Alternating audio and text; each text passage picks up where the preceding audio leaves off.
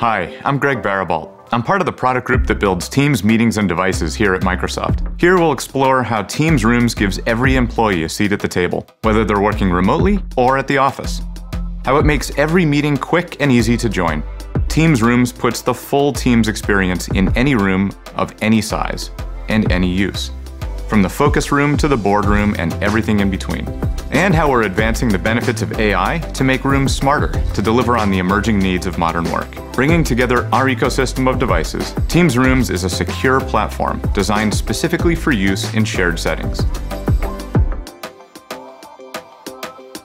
When I think back to the meetings we joined a couple years ago, they were mostly attended in person. There was a sense of genuine connection just by being in the same room as one another. We now expect to be able to see every person and have them clearly see us up close. And we expect to be able to engage and communicate more naturally, even if we're not actively speaking.